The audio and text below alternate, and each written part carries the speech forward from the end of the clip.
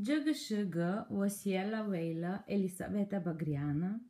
这是一位著名保加利亚诗歌人，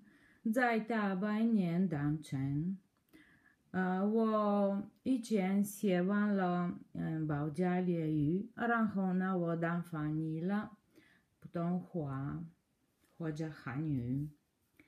闹钟仍然令人吃惊，跟他远远的联系，跟他格林威治标准和他小孩的单纯群，这是所谓的生活中一个圆跟一个闹钟，写美丽的诗歌给我听。然后蜡烛、神符和纪念品，小心翼翼在不幸这里，在他的完美世界里，他的愿已经封闭了，面对失败